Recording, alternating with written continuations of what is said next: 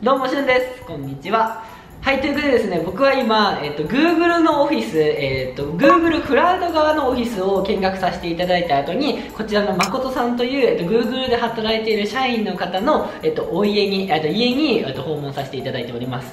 ありがとうございます。いえいえ。なんかで具体的に何かやってるっていうのは言えないんですけども今 Google で働いてみてのその感想とかどういう経路を経て Google に入社されたっていうことについて今日はお聞きしたいなっていうふうに思います。よろしくお願いしますいえいえ。えっと、誠さんは、えっと、Google に、えっと、入られるまでは何をされてたんですか？Google 入る直前は、はい。まあ、Yahoo! でその半年9ヶ月間ぐらいはい。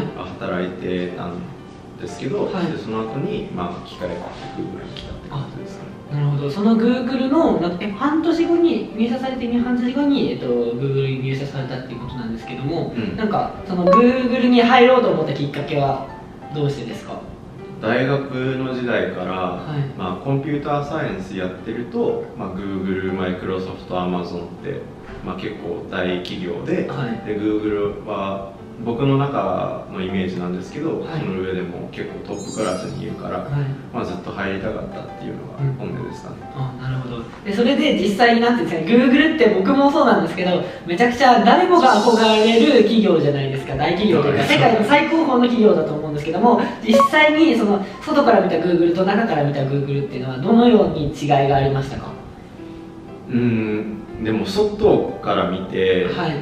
Google ってなんか何をしてるかわからないみたいなイメージが僕もあったんですよ、はい。なんか例えばアドバタイズメントとかどういう風な感じでコードを書いてるかとか結構不思議だったんですけどでも中に入ってみて思ったのは、はい。やっぱなんかコードって別に不思議なことはなくて、はい。そのまんまなんかどこでも使ってるようなコードを、うんまあ、ちょっとレベル上げて書いてるような感じかなって思。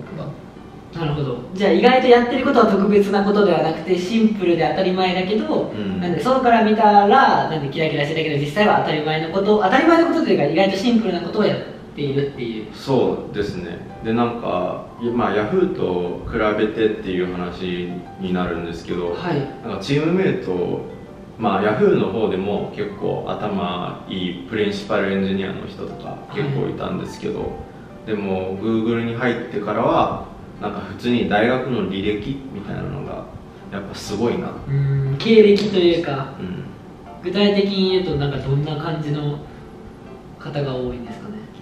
えっと身近ではい。僕のメントアをしてくれた人がいたんですけど、はい。そのメントアの人はまあもうスタンフォードえメンター大ですか？学そうあはい。ですでもうスタンフォード大学。で出ててはいでなんか僕の、まあ、横に座ってる方だったりとかは、カーネギーメロンで PhD 取ったりとか、えー、すごい。であとまあたまたまなんですけど僕の横が同じ大学出身の子が一人いたんですよ、えちなみに誠さんってこれ言えたらでいいんですけどどこ大学はどちらなんですか？僕はジョージア・インスティテュート・オブ・テクノロジーっていう学科なんですけど、知らないけど多分絶対すごい。いや。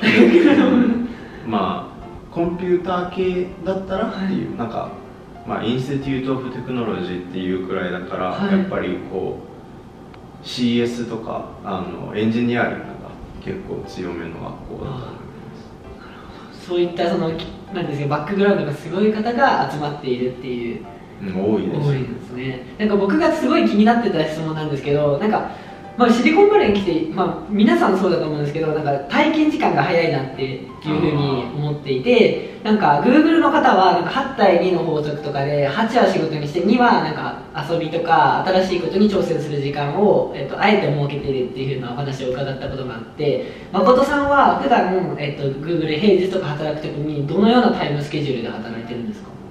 僕はまあ 元から早起きだからっていうのもあるけどはい。もう8時ぐらいに行って56時ぐらいからもうジムとか行ったりしてはい。それでやってますね。だから勤務時間でいうと、まあ、ちょうど8時間ぐらいですかね。それって8時間の方が効率がいいんですかね？うんでもなんかたまにめちゃくちゃこうデッドラインが近づいてる仕事があると、はい。結構家に帰ってきても仕事したりするけど、でもまあ基本的に8時間も、まあ、こう集中してやったら疲れる。うん。8時間の限界というか一番なんかちょうどいい時間なんですね、疲れる。それ以外はどういったことをされてるんですか？ジムとか？そうだね。ジムと水泳とあとあ今日もされてましたもんね水泳。そうですね。あとテニスバドミントンとかあ。そこら辺をやってえるー。そのなんていうんですかね遊びの時間も大切にされててなんか今一番そのタイムスケジュールの中で幸せを感じるところは時はいつですか？うーん。でも友達と映画出かけたりとか、はい。ドライブしたりするのはまあたまには楽しいかなって思いま意外となんか普通のすそう。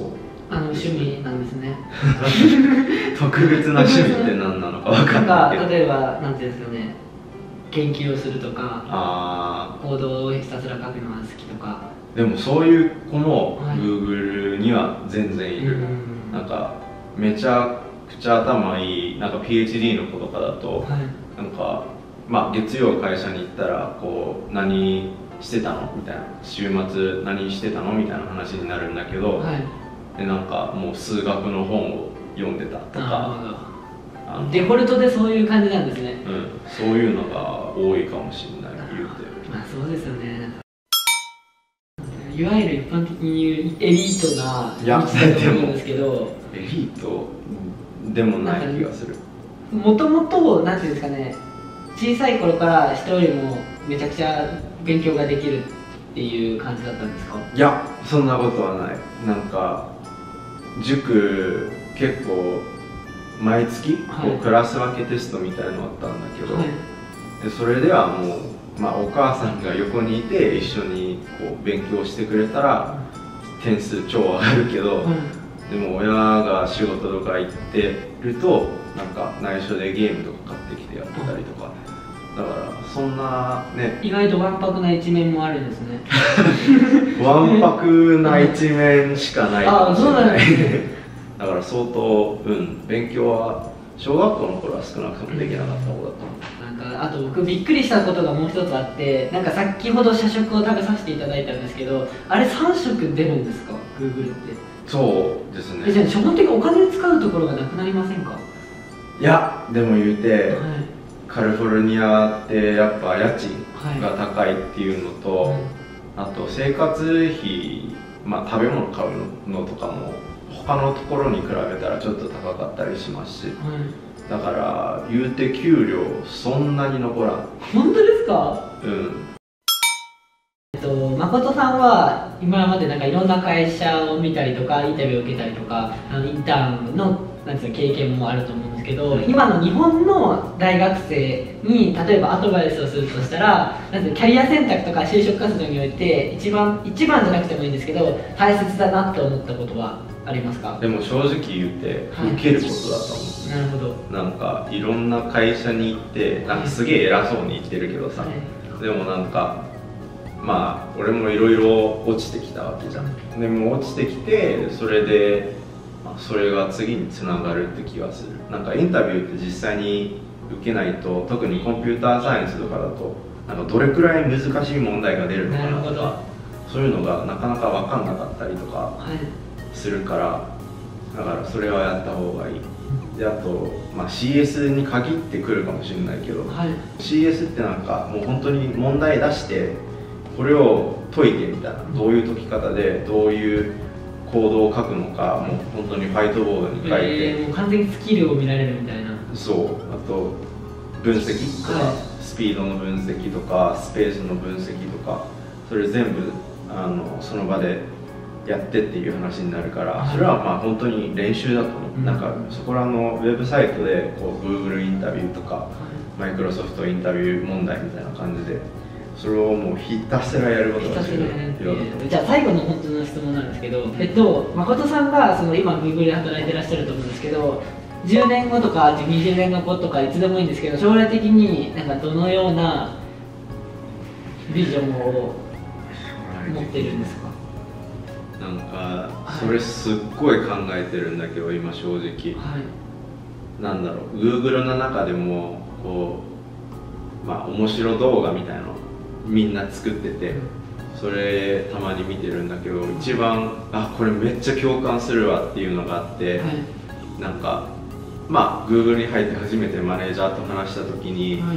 まあ、将来の目標はみたいなことを聞かれるのでもそれ聞かれた時に俺思ったのはいやマジで Google 入るのが目標だった。ああなるほど。でなんかもうゴールじゃね？えみたいなはい。感じなんだけどでもまあよくよく考えるとまだ、まあ、上に行くっていうのも目標だし10年20年って言ったらまあディレクターとかになりたいかなっていうのは思うしあとは、まあ、すげえ個人的な話だけどアメリカに行くか日本に行くかっていうのはすごい迷ってて。はいだからそれもうんめちゃくちゃ考えてなるほど。じゃあまだ、えーとなんですかねこれっていうものはピシッとは決まってないけど、うん。なんですかねとりあえず Google で頑張ってそうだね。上にディレクターとかプロデューサーになるそうだね。のが直近の目標というか、うんうんうんじゃあちなみになってるんですかね日本で例えばスタートアップに携わったりとかっていうのもなくもないっていう。いや ないと思う。やったらなんかうなんかスター僕トの会社に入っていただけたら嬉おしい。ー いやプログラマーでもし協力できるとこがあったんだったらやるわ、はい本当ですか？うん。絶対ここ使います。で ありがとうございます。うん、でも、はい。そうだね、うん、自分で起業したりっていうのは考えてないかも。あだからすごいなって思うけど。でも俺には向いてないかなって気がする言うて。ありがとうございます。じゃあ何かあった際は相談させてください。まあいやぜありがとうございます。今日出会ったのに家まで連れてきていただいてありがとうございます。ひいえいえいということであのまたぜひあのシリコンバレーに来た際は訪問させていただけたら嬉しいです。ということで、えっと、誠さんのお話をもっと聞きたいという方は、えっと、ぜひチャンネル登録をお願いします。ということで今日の動画は終わりです。チャンネル登録お願いします。じゃあな